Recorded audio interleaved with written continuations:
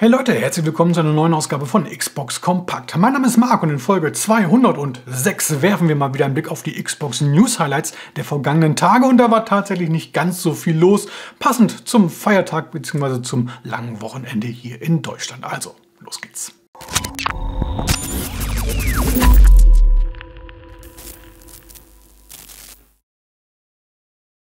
Ja, diese Woche war nicht viel los. Die ganz großen Aufregerthemen haben völlig gefehlt. Man merkt halt auch jetzt, dass mit der Tokyo Game Show letzte Woche die letzte große Messe des Jahres ihre Pforten geschlossen hat. Das heißt, so in Sachen Neuankündigung gerade wird es jetzt merklich weniger.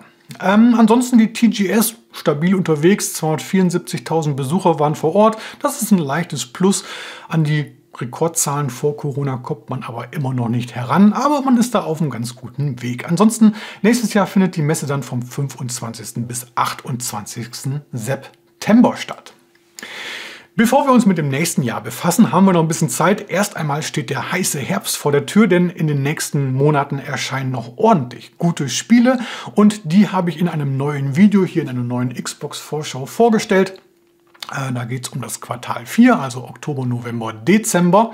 Und diese Art von Video ist mal relativ naja, aufwendig zu machen. Insofern würde ich mich sehr freuen, wenn ihr einfach mal reinklickt und dann meine Highlights mit euren Highlights in den Kommentaren ergänzt. Link dazu wie immer unten in der Beschreibung. Anschauen solltet ihr euch diese Woche auch auf jeden Fall das neue Making-of, eine Doku zu Stalker 2 Heart of Chernobyl. Ähm, es geht da nicht nur ums Spiel, sondern auch so um die Menschen im Hintergrund, die so mit der Realität des Krieges in der Ukraine zu kämpfen haben. Äh, insofern auch wenn euch Stalker selbst nicht so interessiert, die Doku ist wirklich ganz interessant gemacht. Also es geht um Themen wie Tschernobyl, es geht um die Ukraine selbst und es geht um die ja, kulturelle Unabhängigkeit der Spieleentwicklung in einer Zitat kollabierenden Welt bis hin zu persönlicher und kollektiver Widerstandsfähigkeit und der Überwindung von Verlusten. Äh, klingt natürlich sehr pathetisch, das stimmt schon, aber ist wirklich eine gut gemachte Doku. Ähm, Deutsche Untertitel sind da, insofern solltet ihr auf jeden Fall mal reinschauen. Ja, dann gibt es auch noch Änderungen in Sachen Xbox Game Pass bis Mitte Oktober und die schauen wir uns mal eben schnell hier gemeinsam an. Ja, und da wird es aufgrund der verschiedenen Abo-Modelle jetzt so langsam etwas unübersichtlich. Neu dabei MLB The Show 24 und Open Votes. Ja, die waren nämlich schon dabei, aber eben nicht im Xbox Game Pass Standard. Da sind sie jetzt neu. Ansonsten neu dabei Sifu und Mad Streets. Nächste Woche folgt dann auch noch Inscription. Zeitgleich müssen wir uns am 15. Oktober von ein paar Spielen verabschieden. Einmal Dyson 3 Program. Nein, es hat nichts mit dem Staubsaugerhersteller zu tun, betrifft aber auch nur den PC. Everspace 2 Schade eigentlich. Formspace F1 Manager 2023 und Scorn. Ja, ist auch so ein bisschen schade. Habe ich immer noch nicht durchgespielt. Jetzt schaffe ich es nicht mehr. Ähm, ja, kaufen werde ich es mir nicht. So gut war es dann doch nicht. Dann finden dieses Wochenende auch wieder die Free Play Days statt. Das heißt, ihr könnt in ausgewählte Spiele reinschnuppern. Genauer gesagt bis Montag, dem 6. Oktober um 12 Uhr. Diesmal mit dabei Matchpoint Tennis Championships und The Land Beneath Us. Xbox aktuell präsentiert mit wirklich großer Freude den Kommentar der Woche. Und zwar mit freundlicher Unterstützung der YouTube Community. Ja, kommen wir zur Rubrik Kommentar der Woche. Und diesmal ist es ein Kommentar, den ich auf gar keinen Fall irgendwie ins Lächerliche ziehen möchte, denn die Botschaft ist durchaus ähm, diskussionswürdig. Okay, kommt hier so ein bisschen platt daher, aber immerhin bringt es der Gute auf den Punkt. Rainer Stiller 803 schreibt Scheiß Werbung. Vorweg, ich mag auch keine Werbung und ich glaube, niemand auf dieser Welt mag Werbung.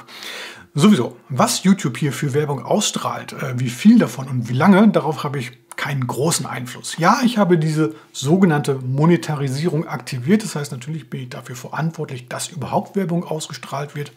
In welchem Umfang, wie gesagt, naja, das liegt nicht groß in meiner Macht. Wir können ja mal mit offenen Karten spielen. Ich habe hier auch nichts zu verstecken.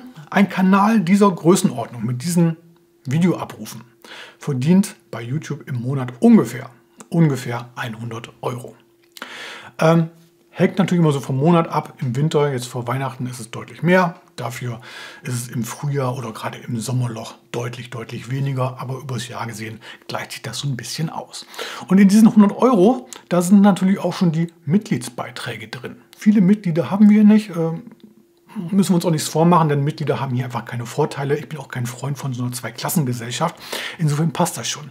Der Beitrag ist insofern nur so eine ja, kleine Unterstützung. Nicht mehr, aber natürlich auch nicht weniger. Also alle allen Mitgliedern äh, ganz großes Dankeschön für eure Unterstützung und an dieser Stelle möchte ich einmal einen hervorheben, nämlich Wolfgang Welte, der ist jetzt schon ja, am längsten mit dabei und das vor allem auch konstant.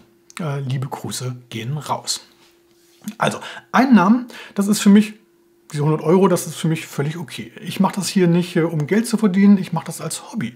Ich mag die Xbox, ich mag das Thema, ich mag die Community und ich mag auch äh, mich mit dem Ganzen journalistisch auseinanderzusetzen. Äh, insofern sehe ich diese Einnahmen hier eher als Taschengeld, als kleine Belohnung für mich. So ein Obolus, wie es so schön heißt, ja, einfach um irgendwie am Ball zu bleiben. Ähm, ansonsten, dieser Kanal besteht ja oder die Säulen, die tragenden Säulen dieses Kanals sind zwei Videos. Einmal ähm, montags die Vorschau, die Wochenvorschau und samstags das Newsvideo. Montags, da ist der Aufwand relativ überschaubar. Trotzdem, ich muss Release-Listen durchgehen. Ich muss mir die Highlights raussuchen. Ich muss Trailer besorgen, runterladen. Ich muss sie vorab einmal hochladen bei YouTube, um zu sehen, ob es da irgendwelche Copyright-Claims gibt. Wenn ja, dann muss ich ein anderes Video auswählen oder ich muss die Hintergrundmusik austauschen. Ähm, und ich muss kurz was zu den Spielen sagen, aber wie gesagt, der Aufwand ist da einigermaßen überschaubar, aber trotzdem, eine Stunde ist da wirklich schnell rum und je nach Woche, wenn mal wirklich viele Spiele da sind, ist es auch mal mehr. Aber sagen wir einfach mal eine Stunde Aufwand für den Montag. Kommen wir zum Samstag. Vorweg, als Vorbereitung, jeder Beitrag, der hier im Video bzw. im Podcast besprochen wird, der wird auf der Homepage redaktionell begleitet. Das heißt, da werden News geschrieben. Äh, das frisst unglaublich viel Zeit. Unglaublich viel Zeit. Ähm, und das auf einer Internetseite, die komplett werbefrei läuft. Aktuell zumindest. Wer weiß, vielleicht ändere ich das mal. Aber seit einiger Zeit ist es schon werbefrei und eigentlich will ich da auch äh, beibleiben. Ähm, ich werde es aber jetzt nicht die Homepage hier mit YouTube und dem Podcast vermischen. Also das ist das eine. Aber trotzdem nur mal so als, als Hintergrund. Die Internetseite frisst unglaublich, unglaublich viel Zeit. Und würde ich nicht jetzt hier selbstständig sein und hätte einen normalen Job, dann könnte ich das alles gar nicht leisten. So, also, das Newsvideo, Vorbereitung. Ich muss mir alle News nochmal anschauen. Ich muss dann die relevanten News auswählen. Äh, ich muss die im besten Fall so ein bisschen sortieren. Und ich muss die ausgewählten News komplett einmal durchgehen. Was soll, was muss und vor allem, was will ich sagen? Das heißt, ich muss mir Notizen machen. Ich muss das Spiel der Woche auswählen. Und auch hier braucht man wieder ein Video, genau wie montags. Ähm, es muss ein kleiner Text vorformuliert werden. Also eine Stunde braucht man auch dafür. Auf jeden Fall. Tendenziell sogar ein bisschen mehr. Kommen wir zur Aufnahme. Ähm, hängt natürlich immer oder unterscheidet sich von Woche zu Woche. Letzte Woche war ein langes Video äh, und wenn ihr meint, 30 Minuten Aufnahme oder 30 Minuten Video bedeutet 30 Minuten Arbeit, nee, das ist tatsächlich nicht so, denn auch ich äh, nehme hier in mehreren Takes auf. Ich versuche das immer so ein bisschen zu verstecken, aber es sind mehrere Abschnitte und es vergeht eigentlich keine Woche, in der ich ein Take ein zweites oder ein drittes Mal einspielen muss, weil ich mich verplappert habe, weil ich einen Faden verloren habe, weil der Postbote klingelt und der Hund steil geht oder, oder, oder. Also die nächste Stunde ist dort auch wieder locker weg. So, und dann kommen wir zur Post-Production, also das, was im Nachgang folgt. Ja, also erstmal Videoschnitt. Okay. Dann der Hintergrund muss bearbeitet werden. Und dieses Newsbild hier vor allem. Ihr glaubt gar nicht, wie aufwendig das ist. Ja, es muss ein Bild ausgesucht werden. Es muss skaliert werden. Es muss positioniert werden. Äh, dann muss der Podcast vorbereitet werden. Äh, ja, zwei Stunden sind da locker bei weg. Locker. So, das heißt, äh, wir haben dann ähm, montags und samstags in einer Woche insgesamt fünf Stunden Aufwand. Mindestens. Im Monat ähm, sind das dann, also in vier Wochen, 20 Stunden. Das bedeutet, bei 100 Euro Einnahmen habe ich hier einen Stundenlohn von 5 Euro.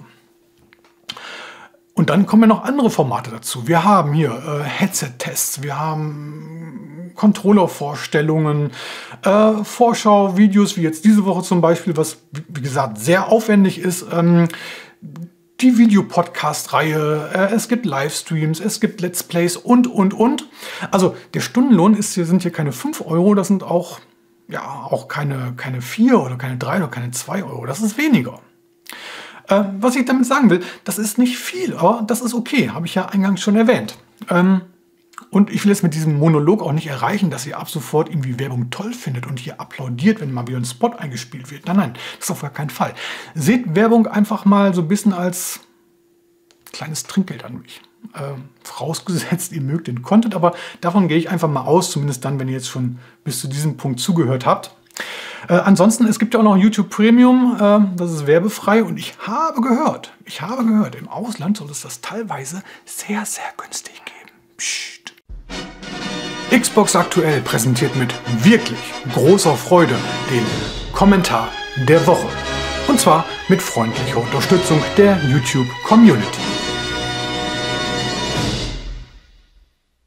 So, und dann sind wir auch schon bei den restlichen News-Highlights, wenn man sie denn so nennen kann, hier im Schnelldurchlauf. Und da starten wir mit einem Nachkömmling von letzter Woche, der es nicht mehr in die letzte News-Folge geschafft hat.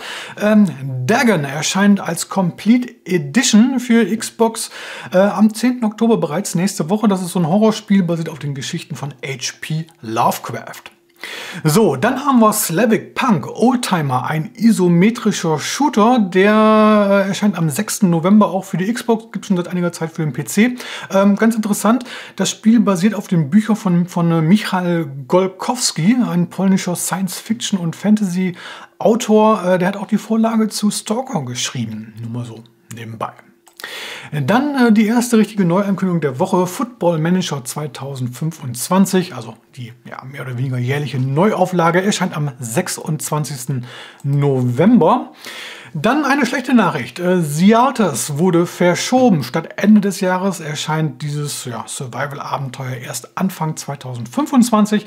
Einen konkreten Termin gibt es da leider noch nicht. Und ja, äh, alle guten, alle schlechten Dinge sind zwei. Äh, die nächste Verschiebung, Post-Trauma. Ein Horrorspiel sollte eigentlich Ende des Monats veröffentlicht werden.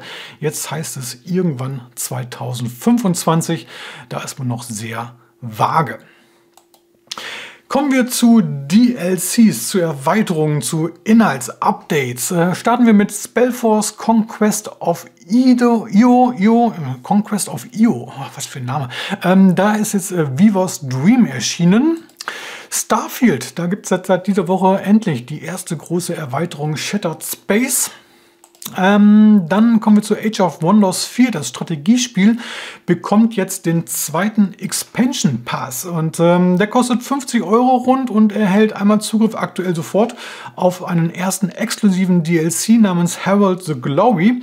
Dann folgen aber noch in den nächsten Wochen und Monaten drei größere Inhalte. Am 5. November gibt es äh, Ways of War. Der wird einzeln knapp 15 Euro kosten und nächstes Jahr gibt es dann noch zwei äh, Giants Kings und Arken Prophecy, die jeweils mit 20 Euro einzeln zu Buche schlagen. Das heißt, naja, da lohnt sich dann schon der Griff zum Expansion Pass.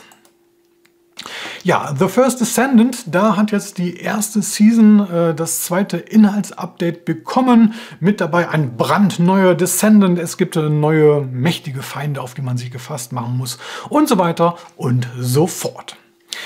Ja, Test Drive Unlimited Crown, äh, Unlimited Solar Crown, da ist jetzt die erste Season tatsächlich gestartet.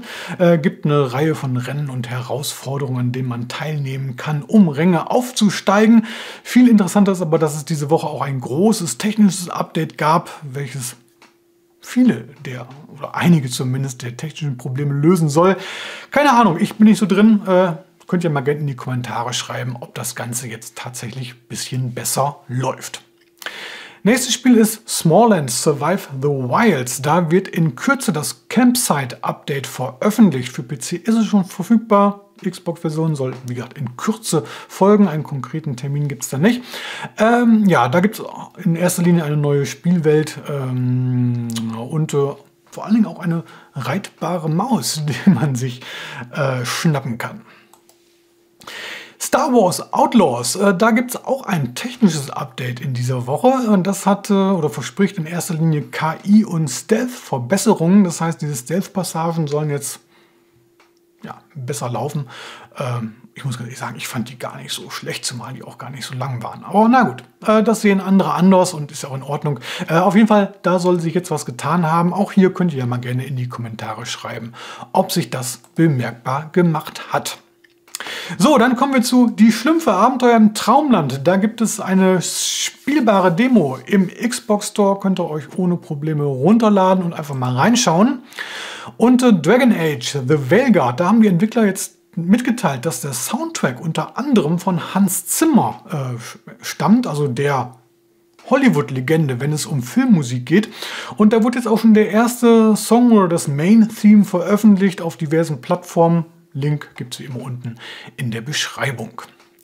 Ja, und zu guter Letzt The First Berserker Kazan, das Action-RPG. Da hat man jetzt angekündigt, dass vom 11. bis 20. Oktober eine Closed Beta stattfinden wird. Und für die kann man sich noch bis zu diesem Sonntag, also dem 6. Oktober, auf der offiziellen Homepage ja, unverbindlich anmelden.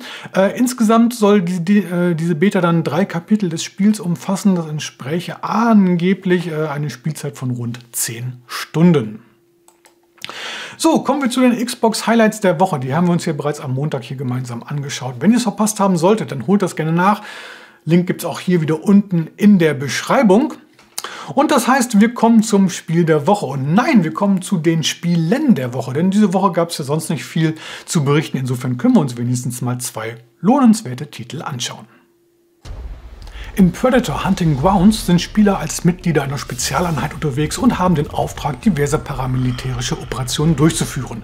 Doch dann taucht der Predator auf und das Spiel wird zu einem asynchronen 4 gegen 1 Shooter oder doch eher 1 gegen 4, denn alternativ kann ein Spieler eben auch in die Rolle des Aliens schlüpfen.